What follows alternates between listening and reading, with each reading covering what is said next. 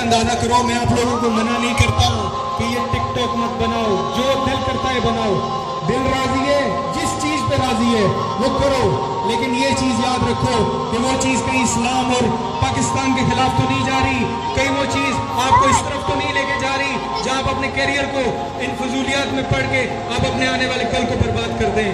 یقین مانو یقین مانو، مسلمان وہ قوت ہے۔ ایک نوجوان، مسلمان، سارے نوجوان کھڑے ہیں۔ سب سے بڑا نوجوان ہمارا یہ ہے۔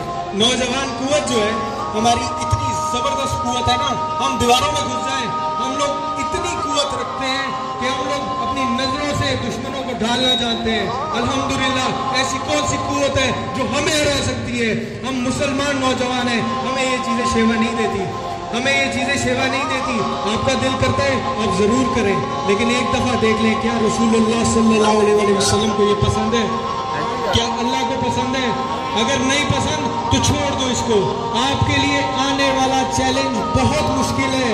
میں یہ سیاسی بات نہیں کروں گا، کیونکہ آج یوم قائد اعظم ہے۔ میں اپنا فرض ادا کر کے جانا چاہتا ہوں۔ میں چاہتا ہوں آنے والے خدشات سے آپ کو آگاہ کر کے جاؤں، تاکہ میں خدا کی بارگاہ میں ہی کہہ سکوں، یا اللہ، میں ان کو بتا کے آیا تھا۔ میرے بھائیوں، میرے شہزادوں، یہ نیٹ فلکس یہ ٹک ٹاک، یہ سارے مسلمانوں کو گمراہ کرنے کے طریقے ہیں۔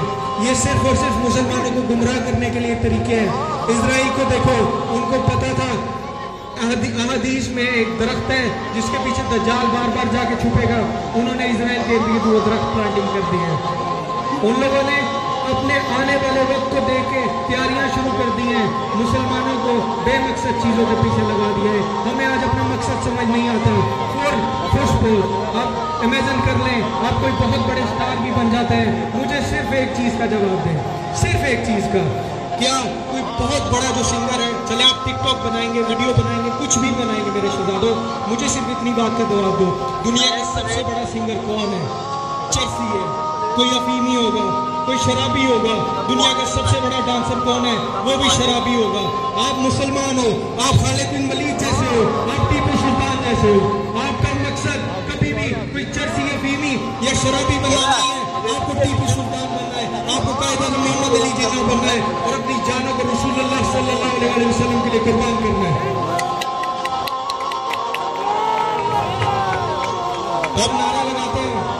کوئی کامران عثمانی کسی حیثیت، کوئی حیثیت نہیں ہے، کچھ نہیں ہے، کچھ اوقات نہیں ہے۔ رسول اللہ کے صدقے رسول اللہ کے غلاموں پہ میں قربان میری اوقات کچھ نہیں ہے، نعرہ لگانا ہے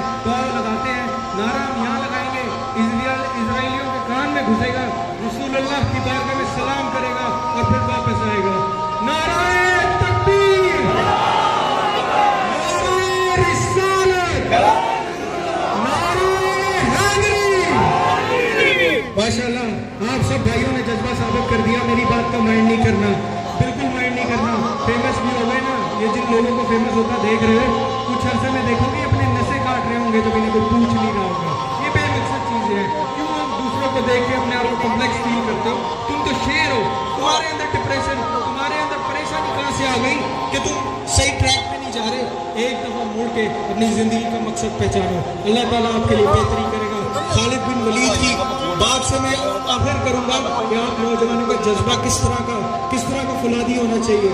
خالد بن ولید رومیوں کے آگے گئے۔ روم فتح کر لیا۔ رومیوں نے پوچھا، خالد بن ولید، تم یہاں کیا لینے آئے ہو؟